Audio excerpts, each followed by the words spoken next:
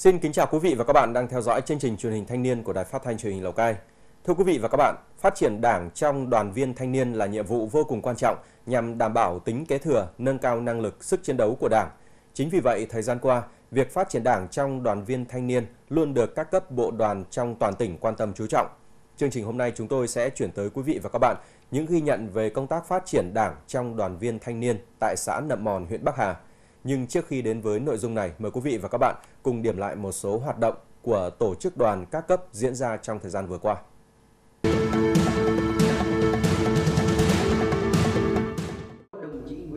Trong 3 ngày, từ ngày 23 đến ngày 25 tháng 8, đoàn đại biểu đoàn khối cơ quan doanh nghiệp tỉnh tổ chức chương trình Hành trình địa chỉ đỏ về thăm quê bác tại Nghệ An. Tham dự chương trình có lãnh đạo Đảng ủy khối cơ quan doanh nghiệp tỉnh Lào Cai, Đảng ủy khối các cơ quan tỉnh Nghệ An, cùng gần 20 đại biểu, thanh niên ưu tú, cán bộ đoàn chủ chốt đại diện cho 68 tổ chức cơ sở đoàn trực thuộc đoàn khối cơ quan doanh nghiệp tỉnh Lào Cai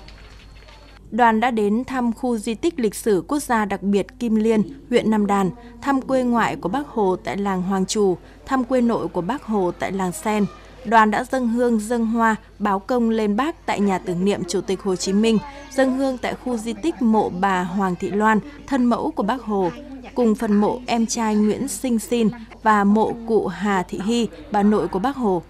Đoàn cũng đã đến thăm tặng 15 xuất quà cho các gia đình có hoàn cảnh khó khăn, người có công với cách mạng tại xã Mỹ Sơn, huyện Đô Lương. Trước đó, đoàn công tác đã đến khu di tích lịch sử Chuông Bồn, huyện Đô Lương, dân hương dân hoa tri ân 1.240 cán bộ chiến sĩ và 13 nam nữ thanh niên sung phong tiểu đội thép anh hùng đã hy sinh tại trọng điểm ác liệt trung Bồn. Chuyến hành trình địa chỉ đỏ đã thực sự trở thành hành trình đầy ý nghĩa, giúp đoàn viên thanh niên hiểu hơn về cuộc đời và sự nghiệp của bác, là động lực để đoàn viên thanh niên phấn đấu, tôi luyện bản thân và làm tốt công tác tuyên truyền trong việc đẩy mạnh học tập và làm theo tư tưởng đạo đức phong cách Hồ Chí Minh.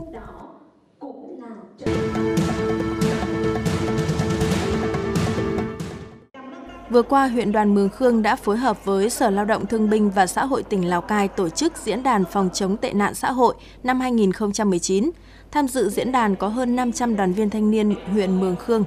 Tại diễn đàn, đoàn viên thanh thiếu niên được tuyên truyền kiến thức về phòng chống ma túy, mua bán người, phòng chống mại dâm, ảnh hưởng của tệ nạn xã hội đối với đời sống, các kỹ năng để nhận biết các hành vi lừa gạt dụ dỗ của các đối tượng chuyên lừa gạt phụ nữ để thực hiện hành vi mua bán người, thu lời bất chính, từ đó chủ động phòng tránh bị lừa gạt. Đồng thời các đoàn viên cũng hiểu rõ vai trò trách nhiệm của mình trong việc tích cực đóng góp công sức cùng cộng đồng tham gia phòng chống tệ nạn xã hội, tích cực tố giác đấu tranh phòng ngừa tội phạm mua bán người, phòng chống buôn bán sử dụng ma túy và tệ nạn mại dâm.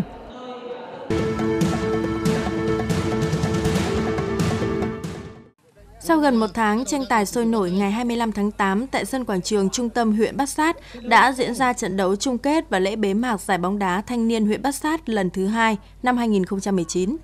Trải qua 23 trận đấu hấp dẫn kịch tính với tinh thần thể thao đoàn kết, các cầu thủ của 13 đội bóng đến từ các cơ sở đoàn trên địa bàn huyện đã cống hiến cho khán giả những pha bóng hay, bàn thắng đẹp, kỹ chiến thuật hợp lý, mang lại nhiều cảm xúc đối với cổ động viên. Kết thúc giải, đội FC Phố Bản đã giành được chức vô địch, đội FC Liên Cơ giành giải nhì và giải ba thuộc về đội FC Quang Kim. Đội FC Trịnh Tường giành giải phong cách, Ngoài ra ban tổ chức cũng trao các giải dành cho cầu thủ ghi nhiều bàn thắng nhất và thủ môn xuất sắc nhất.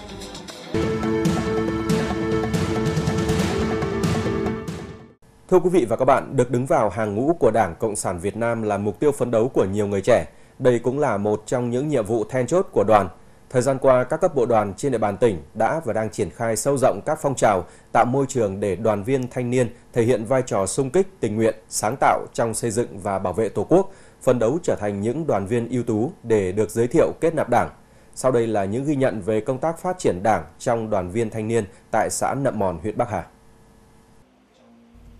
Là một thanh niên luôn năng nổ, tích cực trong các hoạt động đoàn tại địa phương, năm 2016, anh Vàng Quang Thành được tín nhiệm bầu làm phó bí thư đoàn xã Nậm Mòn. Trên cương vị mới, anh Thành luôn nhiệt tình, trách nhiệm, hết lòng với công tác đoàn và phong trào thanh thiếu nhi tại địa phương – anh tích cực tuyên truyền cho nhân dân và đoàn viên thanh niên tham gia phong trào xây dựng nông thôn mới.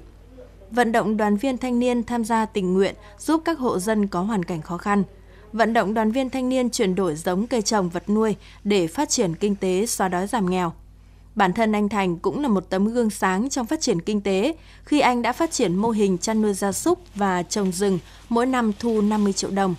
Với sự nỗ lực đó, năm 2017, anh vinh dự được đứng trong hàng ngũ của Đảng Cộng sản Việt Nam. Tôi thấy là rất tự hào để khi mà trở thành một người đảng viên vì là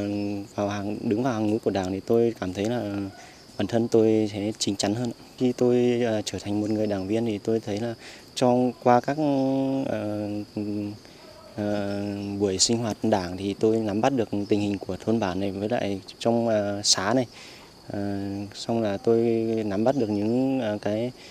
uh, công việc là tôi tuyên truyền cho uh, những người dân xung quanh tôi có thể hiểu biết hơn về những cái chính sách của nhà nước.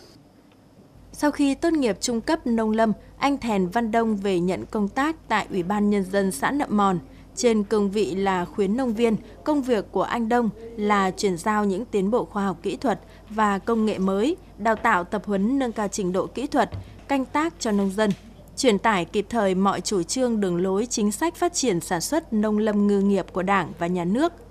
9 năm qua, anh Đông luôn làm việc với tinh thần thái độ hết lòng phục vụ nhân dân, luôn hoàn thành tốt nhiệm vụ được giao.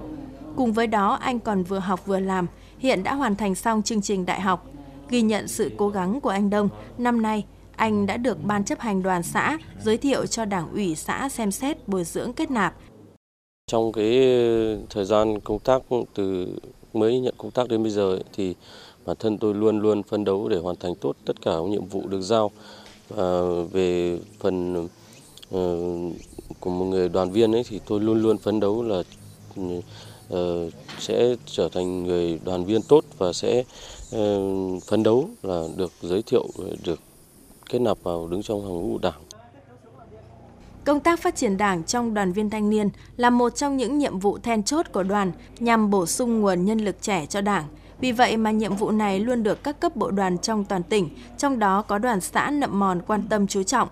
Mỗi năm, đoàn xã được giao chỉ tiêu giới thiệu 4 đến 5 đoàn viên thanh niên ưu tú cho Đảng ủy xem xét kết nạp. Các đoàn viên được giới thiệu phải đảm bảo một số tiêu chí do Đảng ủy đưa ra như có lập trường tư tưởng vững vàng, không bị dao động trước những thông tin xuyên tạc bịa đặt, phải có trình độ đã tốt nghiệp các trường trung cấp, cao đẳng hoặc đại học, nhiệt tình tham gia các phong trào tại địa phương, có khả năng vận động, thuyết phục quần chúng. Trên cơ sở đó, việc giới thiệu đoàn viên ưu tú cho Đảng ủy xem xét bồi dưỡng kết nạp Đảng được tiến hành chặt chẽ, đảm bảo đúng, đủ các quy trình theo quy định trên cơ sở đánh giá, phân loại đoàn viên. Trong 6 tháng đầu năm 2019, Ban chấp hành đoàn xã đã giới thiệu được 8 đoàn viên ưu tú cho Đảng và đã học lớp bồi dưỡng Đảng Cộng sản Việt Nam – trong đó có 4 đồng chí đã được đứng trong hàng ngũ của Đảng, đưa tổng số đảng viên trẻ lên 41 trên 152 đảng viên của toàn xã. So với các tổ chức khác ấy, thì lực lượng đoàn viên thanh niên được phát triển đảng viên là nhiều hơn so với các tổ, tổ chức khác. Trình độ và năng lực thì sẽ cũng cũng sẽ có cái phần là là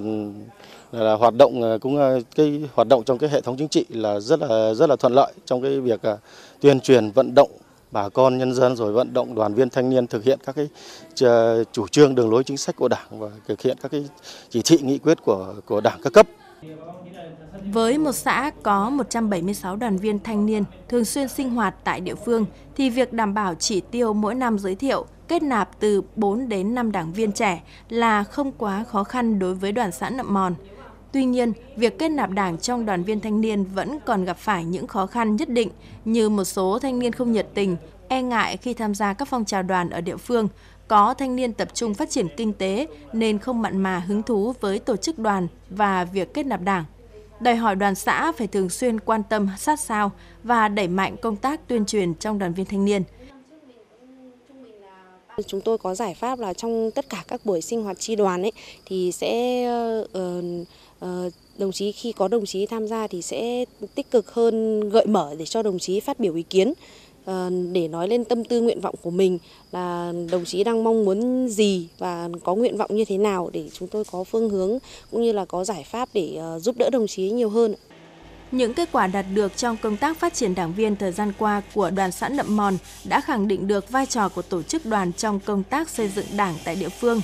Để công tác phát triển đảng viên trong đoàn viên thanh niên thời gian tới tiếp tục đạt được hiệu quả, đoàn xã Nậm Mòn sẽ tăng cường, nâng cao chất lượng hoạt động các phong trào đoàn, đẩy mạnh giáo dục định hướng lý tưởng cách mạng cho thanh niên, mạnh dạn giao việc để đoàn viên thanh niên phát huy tinh thần sung kích, tình nguyện, sáng tạo, phấn đấu để có thêm nhiều đoàn viên ưu tú được đứng trong hàng ngũ của Đảng, góp phần xây dựng củng cố hệ thống chính trị, xây dựng địa phương ngày càng phát triển. Chương trình truyền hình thanh niên của Đài Phát thanh Truyền hình Lào Cai sẽ được tạm dừng tại đây. Cảm ơn quý vị và các bạn đã dành thời gian theo dõi. Xin kính chào và hẹn gặp lại.